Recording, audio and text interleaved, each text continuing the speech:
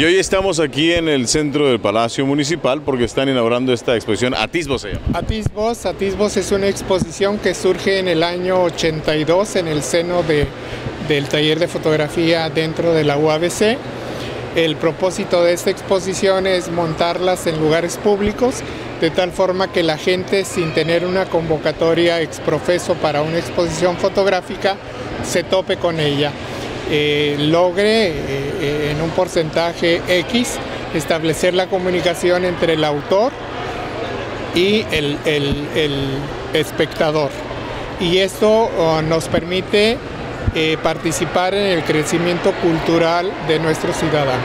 El tema fundamental es la presentación de la visión de cada uno de los expositores que no necesariamente tiene que ser de la ciudad de Tijuana, sino simplemente somos tijuanenses o radicados en Tijuana y es un grupo representativo ya que estas exposiciones cumplen su circuito a nivel Tijuana, a nivel estado y posteriormente salen al extranjero con el nombre y en este caso esta exposición celebrando un aniversario más de la ciudad. Son 12 expositores y son alrededor de 46 fotografías. ¿Hasta cuándo va a estar aquí en Panamá? Va a estar hasta eh, finales de agosto para luego ponerla en circuito en otros espacios públicos dentro de la ciudad, del estado y posteriormente se hace una selección entre varias exposiciones denominadas atismos para salir al extranjero.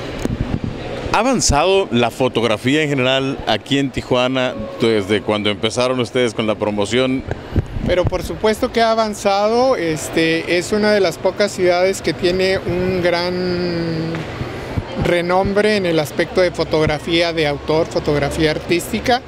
Obviamente que las circunstancias y la nueva tecnología ha hecho a quien carga cámaras fotográficas fotógrafos entrecomillados y entre paréntesis, pero eh, Tijuana es una de las ciudades con mayor movimiento en las diferentes artes y especialmente en el área de fotografía. ¿Por qué es diferente Tijuana al resto del país? Bueno, Tijuana tiene un desarrollo cultural muy importante contrario a otras ciudades y obviamente que hay otras ciudades que tienen un movimiento cultural mucho mayor que nuestra ciudad, pero eh, eh, la característica de Tijuana podrá ser que eh, por ser una ciudad de diferentes orígenes, sus habitantes traen sus vivencias y podemos armar una buena propuesta que no nada más se queda eh, eh, alrededor del pensamiento de los tijuanenses, de los tijuanenses por decirlo de esta forma, ¿no? Porque finalmente Tijuana tiene gente de todas partes del mundo inclusive y eso favorece pues esa relación. Obviamente que hay que estar en los lugares claves, en los lugares puntuales para que esto se pueda dar y poder ser, eh, poder influenciar y ser influenciado y poder crecer este, culturalmente. Hay algunos fotógrafos profesionales en términos de noticias eh, que han, han ido destacando a nivel nacional. ¿Tú a qué crees que se deba? ¿A que hay una a ese desarrollo de la fotografía o que la realidad de Tijuana y ellos como retratadores, por así decirlo, de esta realidad tienen más notoriedad? A, mí me parece que las dos situaciones este, coinciden porque Tijuana es multifacética, llena de contrastes, llena de problemas. Entonces el fotógrafo de prensa lo único que necesita es manejar su técnica fotográfica, estar en el lugar adecuado, en el momento adecuado y la noticia se está dando. Entonces ese es el gran reto. Aquí no hay con qué hay que inventar una nota. Las notas rebasan en ocasiones a la población, a nosotros mismos. ¿Y en términos de la técnica han, se han mejorado o simplemente están beneficiándose por esta particularidad de crear una, una realidad que ya estaba con anticipación en la atención de bueno, son las dos situaciones, estar en el momento, tener el equipo adecuado, el conocimiento adecuado, porque quién no en una fotografía eh, de momento, este, con un iPhone, con un teléfono, con, no sé, con el clic del ojo, eh, logra capturar la imagen y poderla transmitir, cumple la función de comunicación.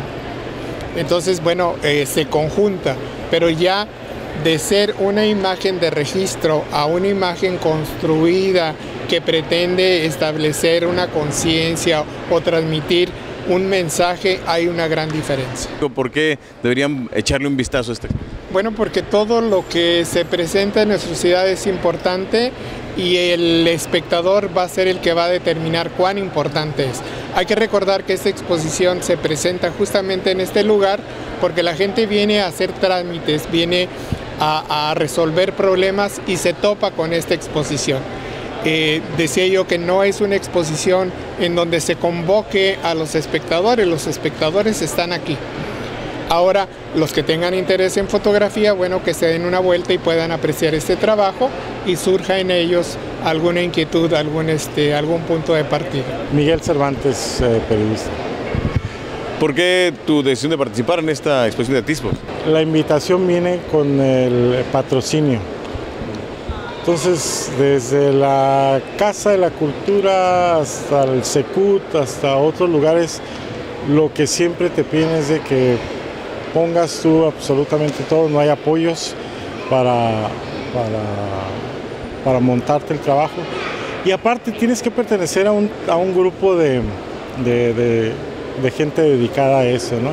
Si no perteneces, pues vas, vas para los lados. Entonces, eh, Bojorques eh, me ha estado invitando e insistiendo en que yo haga mi propia exposición eh, a ver cuándo le hago caso. Ahorita por lo pronto ya participo con tres. ¿Me quieres decir por qué escogiste esos particularmente? ¿Por qué te gustaron? Ah, bueno, son fotografías que me acuerdo haberlas, al menos una, me acuerdo haberlas apuntado, pero no me acuerdo haber visto el contenido. Es lo que le comentaba hace ratito a, un amigo de que está la de las alas. Yo me acuerdo que adentro de la catedral de Chapala, vi eso y algo me llamó la atención, no supe qué. Saqué fotos, saqué como cinco fotos, pero no, no, no, no identifiqué qué es lo que había sacado. Ya después cuando lo, vi, le veo las alitas a la persona que está hincada. ah, pues este fue el, el, motivo por el que saqué la fotografía. No sé por qué, pero hasta que yo lo que hago es sacar y después averiguo. Eh, en la otra pues son los, los chavos que están ahí junto con todos los maniquís.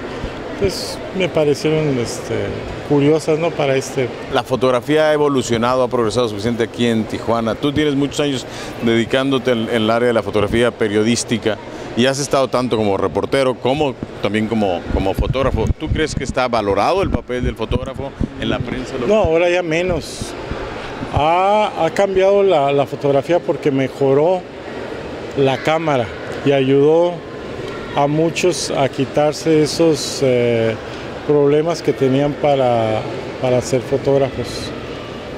ya los convirtió de repente en, mejores fotógrafos.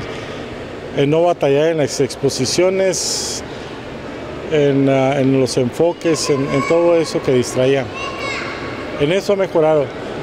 Eh, pero no, el fotógrafo sigue siendo no, valorado. Eh, en los periódicos sigue considerándose la imagen, a pesar de que es lo primero que toda la gente ve, la imagen la siguen eh, tomando como de relleno en los periódicos. Y en el propio internet, o sea, este, los periódicos no tienen fotos, por ejemplo, de, en, las cuestiones policíacas no tienen fotos de, de secuestradores y arman ellos una persona amarrada, como se la imaginan, y ahí está la foto, es como inventar, como inventar una nota, ¿no? Entonces, eh, de ahí pues ya no tiene valoración la, Se pierde también la capacidad del lector, o sea, el mismo lector el, observador el consumidor de, medios de comunicación pierde ante esta, este menosprecio de la relevancia? Sí, porque se acostumbra también a la mediocridad. O sea, ya no le presta, aun cuando de manera natural el ojo este, se va primero hacia la imagen antes de las, de las letras, eh, se va y ya, ya, no le exige tanto al, al periódico de que presente buenas, buenas fotografías.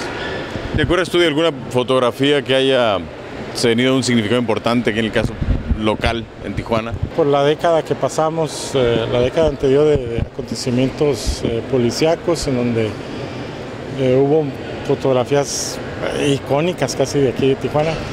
Y previo a eso, pues aquellas fotografías de las inundaciones, de la, apertura de, las compuertas de allá de la presa, los acontecimientos políticos de por ejemplo, del primer eh, alcalde panista, en donde día tras día siempre se daban, aún eh, en información, pero en fotografías se daban eh, muchas fotografías muy significativas. Y, este, y curiosamente ahora, a pesar de que tenemos unas cámaras más rápidas, más, más llenas de de elementos para sacar una fotografía rápida y no, no, no le veo este, muchas, eh, no veo muchas, o no recuerdo muchas fotos así icónicas. Este, quizá por, yo creo que sí la hay, pero eh, en cuestión de, los editores que, las identifican y, que las identifiquen y las promuevan, no, ahí es donde... Ante esta falta de valorar el trabajo de, la fotografía o del fotógrafo o de la prensa en general, ¿por qué te mantienes con la fotografía, Miguel? Porque creo que me expreso mejor. Me expreso mejor con la, con la imagen.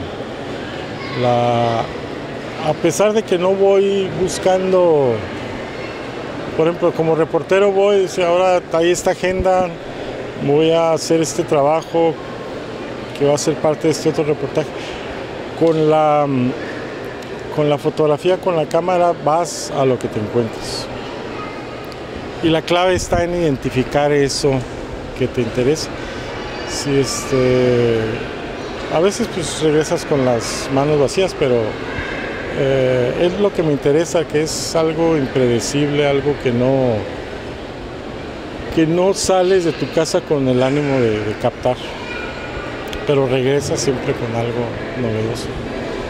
¿Tienes un título para cada una de estas fotografías tuyas que con las Pues está esa, es la de las alas grandes y alas eh, chicas, y la otra de los modelos. A ver si los identificas. ¿Y la otra cómo se llama? Y la otra se llama Sweet, es de una señora con rebozo que contrasta, va caminando y contrasta con unas jóvenes. Esas fueron sacadas, las tres fueron sacadas en Jalisco, en Chapala, en La Barca y en, eh, en Guadalajara. La salud de tu familia está relacionada con la salud de tus mascotas. Por eso cuida de ellas y evita la transmisión de enfermedades como la riqueza. Te recomendamos reforzar en tu hogar las acciones de limpieza. Y si presentas fiebre, malestar general, dolor de cabeza y abdominal, acude a tu médico. Recuerda que la riqueza no se contagia de persona a persona y es curable si se detecta a tiempo. Información es prevención.